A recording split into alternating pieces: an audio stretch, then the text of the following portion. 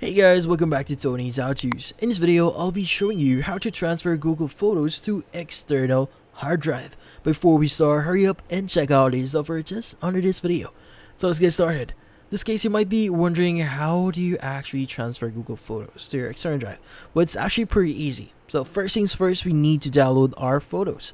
So in this case, go ahead and open up any browser here. You want to type in the following, which is going to be photos.google.com. Now, in this case, if this is the first time that you're accessing your Google Photos here, make sure to log in first. But once you've logged in, you should be able to see the photo section. Now, first select the first photo that you want to add. Now, in this case, make sure to click on the check at the top left of that screen so that you'll be able to select it. Now, you could go ahead and hold on shift and that will actually select all the photos in between the first and last photo that you've selected. Now once you've done that, go ahead and click on the top right of, of your screen here, which is the three dotted option here. Let's go ahead and click on it and you want to click on download.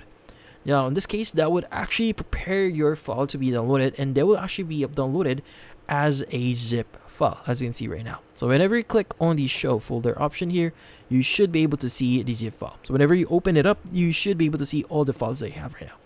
This case, you go ahead and copy all the files you have. So right click on it, click on copy, and you could go ahead and open up the external drive here. So for example, if you have a drive here, you could go ahead and click on it. So for example, I have the files and folders external drive here.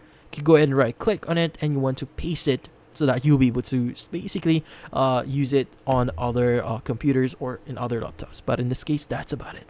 So, if you found this video helpful, hit the like and subscribe button and watch our next video.